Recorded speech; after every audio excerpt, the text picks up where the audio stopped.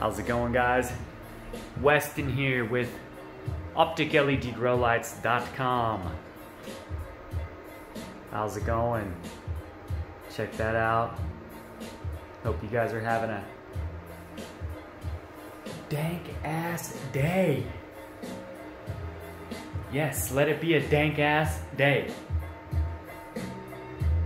Slim 600H. Samsung. Samsung. Horticulture specific. LM301H. So Samsung, of course, makes these uh, horticulture line of LEDs, and that's what these white LEDs are. This is a, a mixed white, but there's 2,760 LEDs on this fixture here. And we also have the bloom enhancers, which are key to that world's finest bud quality. The deep reds, the royal blues, and you'll see the same thing when you come over here to the Optic 8. But one difference is the Optic 8 has infrared and UV as well. So I'm just trying to take a look there. Oh yeah, you can see the UVs right there, boom. You have infrared and UV.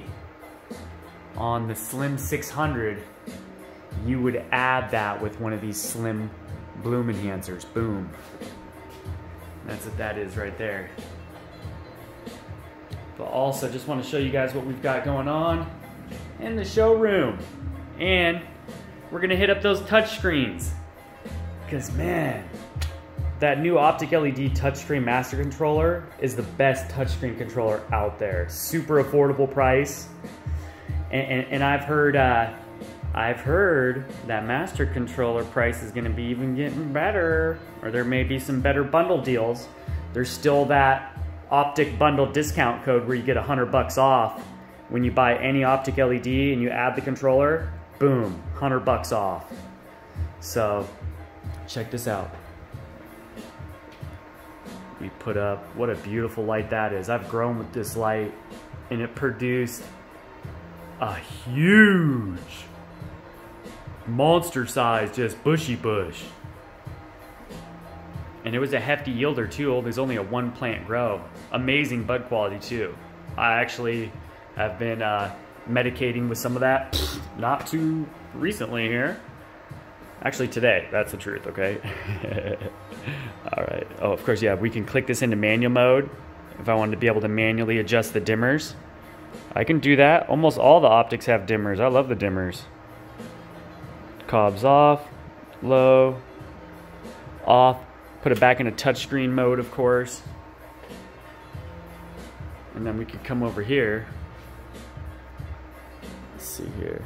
Oh, nope, that's for the slims. This is supposed to be zone two over here. You'll see now I should be able to turn those cobs on just like that. You see that? Cobs are on, off. Bloom enhancers, if I want to turn those up, you got a lot of bloom enhancer power on that light. Look at that.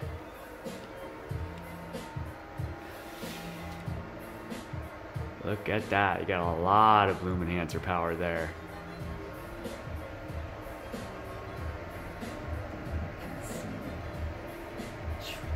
And those are so bright. You can see, yeah, look at that. There's four of them in there. It's that newest Optic 6 Gen 4. Such a badass light. It's a thousand dollar light. And then if I do this, go into zone one, oops, zone one. Now over here, it's the Slim 480. And we also have the Slim 320, 320 watt four bar light. And here's the Slim 480. Check that out. Boom. This is a six bar light here. Check out the par numbers on this thing because they're incredible. For 480 watts, I actually have this light hung up at my house right now for when I'm gonna grow with it next. I have the Slim 480 up and I also have the new Optic 8 up. That's at my home grow. Look at that, Slim 480. What a beauty. And of course, she's hooked up to the touchscreen controller. Let me see if I can show you what I'm talking about.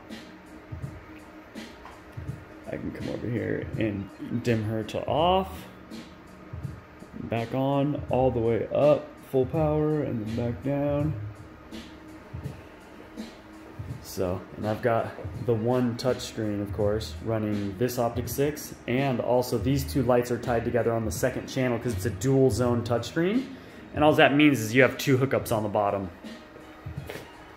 That's all that means. Zone 1, Zone 2. It's as simple as that. Hardline system, you just plug her in.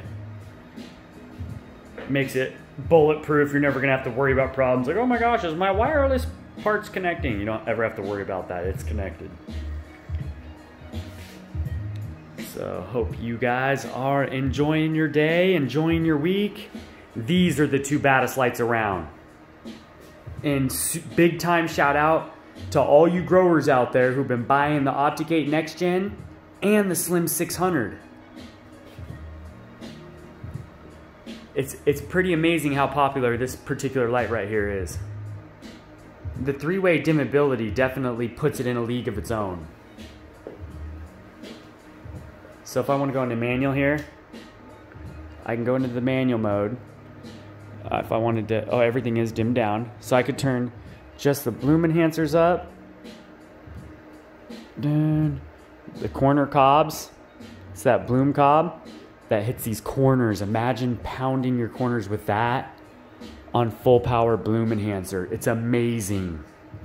And then to to pump up that PPFD, then bring these in. So then you have all everything on full power, 550 watts. This is a super size light, 28 by 28 for a square fixture. That's gigantic.